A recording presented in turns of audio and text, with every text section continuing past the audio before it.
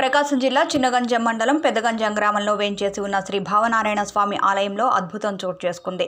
శ్రీ సూర్య భగవానుడి నులివెచ్చని కిరణాలతో భావనారాయణుని అభిషేకం గావించారు.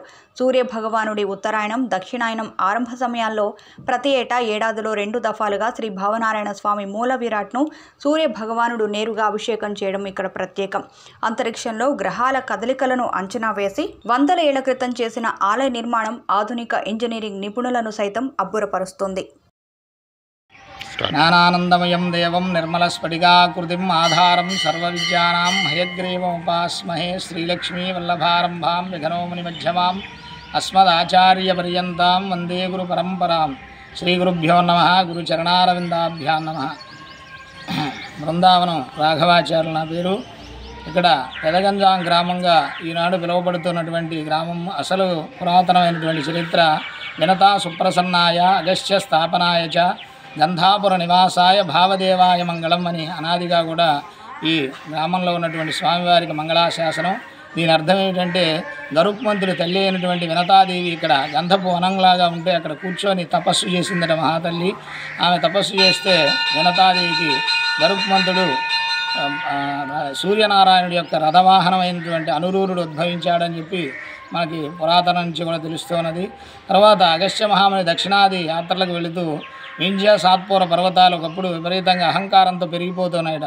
వాటి మదం అణచడం కోసం అందరూ దేవతలంతా కూడా కలిసి అగస్త్య మహాముని ప్రార్థిస్తే ఆయన వస్తూ వస్తూ దక్షిణాదికి వెళుతూ వాటి అహంకారాన్ని అణిచి అవి వచ్చేసరికి అగస్త్య మహాముని నమస్కరిస్తూ వంగి ఉన్నాయట. దానివల్ల మనకి ఏమిటి ప్రయోజనం అంటే ఉత్తర దక్షిణ భారతదేశానికి పవనాలు ఆగిపోయినాయి ఉత్తర భారతదేశానికి రాకుండా. అందువల్ల వాటిని నిరోధించడం కోసం అగస్త్య మహాముని వస్తూ వెళుతూ వెళుతూ కొన్ని ప్రాంతాలన్నింటినీ కూడా ఆయన ఉద్ధరించాడని చెప్పి మనకి పెద్దలు చెబుతూ ఉన్నారు. అట్లా ఆ వింజసాత్పుర పర్వతాలను ఆపేసి ఇలా వస్తూ ఉన్నటువంటి అగస్య మహాముని ఆయన దివ్య దృష్టితో చూచి ఇక్కడ వినతాదేవికి ప్రసన్నమైనటువంటి మహానుభావుడు భావనారాయణ స్వామి ఉన్నాడని చూచి తర్వాత ఆయన ఇంకొక ప్రత్యేకత ఇక్కడ కల్పించాలనేటువంటి సంకల్పంతో ఆయన దివ్య దృష్టితో చూచి సూర్యకిరణాలు స్వామి మీద ఇక్కడ పాదగోపురం నుంచి స్వామివారి మూల విరాట్ వరకు వంద అడుగుల దూరం ఉన్నది. అయినా కూడా అక్కడికి సూర్యకిరణాలు పడే విధంగా ఆయన దివ్య దృష్టితో చూచి ప్రతిష్ఠ చేశాడని చెప్పి రెండవసారి పునఃప్రతిష్ఠ అయింది. అందువలన అగస్త్య స్థాపనాయ చ గంధాపుర నివాసాయ భావదేవాయ మంగళమని అనాదరించి కూడా ఈనాటికి ఇక్కడ జరుగుతున్న మంగళాశాసనం. అలాగే ఇక్కడ ఉన్నటువంటి విశేషం ఏంటంటే ఇంకా వినత ఆయన అగస్త్య అనంత పద్మనాభ స్వామి ఉన్నారు ఇక్కడ.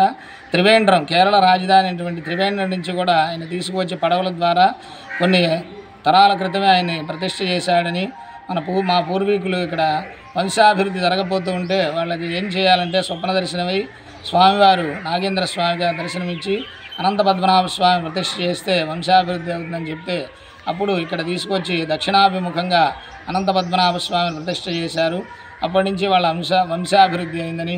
అలాగే ఇక్కడ మనం చూసినట్లయితే నివేదన బండ ఇద్దరికి కూడా నివేదన చేయడానికి పెద్ద అరుగులాగా ఉంటుంది. హోలీ ప్లేస్ ఇప్పటికి కూడా దాన్ని అలాగే అందరూ చూడడం కోసం అలాగే